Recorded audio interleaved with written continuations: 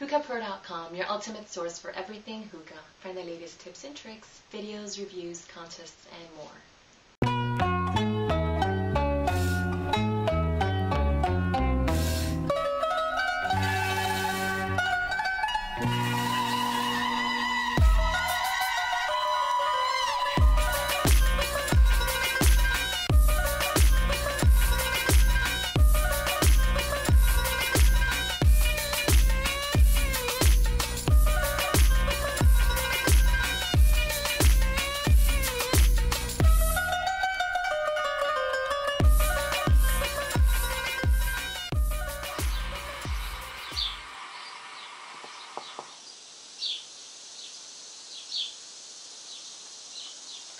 Hey there YouTube, it's Zach again from hookahpro.com, the ultimate source for everything hookah. Of course, another shisha review for you today.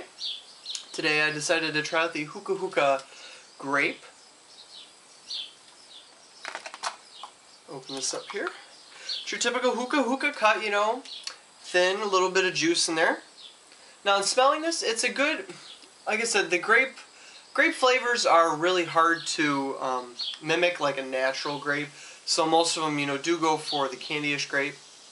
This one's pretty good. Not too strong of a flavor, not too, excuse me, not too strong of a smell or not too mild of a smell. So it's right in between. Good, probably kind of like um, almost a grape.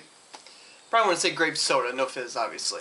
Anyways, smoking out of the Mini Mya today. Nammor hose diffuser on the bottom on a Vortex bowl and three Coco Nara coals. Been smoking for about 20 minutes now.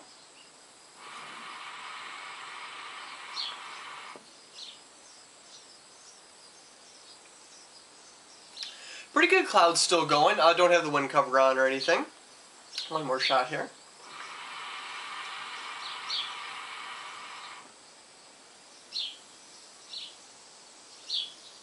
As you can see, good, pretty good clouds.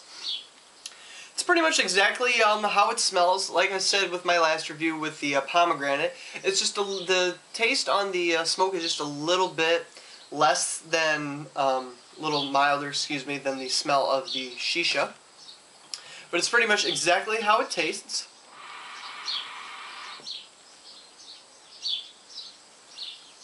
Me personally, it probably would not be one of um, a flavor I would smoke too often. For me, it's it's just too bland. It's nothing against the tobacco or anything. It's just me personally. It's just too bland. So. But going off that, it's not too bad of a flavor or anything. It's got good flavor, you know, good strength, not too strong or anything. So, ratings-wise, I'm probably going to give it a C+. plus. You know, like I said, nothing I would smoke personally or keep in my stash, but I would recommend, you know, if you're still, especially if you're still new to hookah, give this flavor a try. It's a good starter flavor. So, that about does it for the Hookah Hookah Grape review for today. Check out hookahpro.com. They got lots of great tips, tricks, videos, especially the contest going on right now. Big thank you out to Sahara Smoke and hookahpro.com out for sponsoring this um, contest. So until next time, we'll catch you later, guys.